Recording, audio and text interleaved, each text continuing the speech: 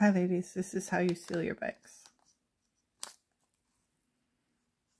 Just hold it for about mm, 30 seconds, 15 seconds, depending on how hot your iron is.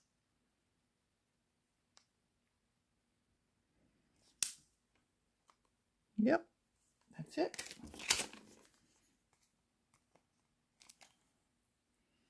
I usually try to seal them as high as I can so I can cut back each time I open them. I can cut into the bag and it's not, it's, uh, you know, I have a lot of play within the bag. You can also put them in the freezer and they don't need to be melted close.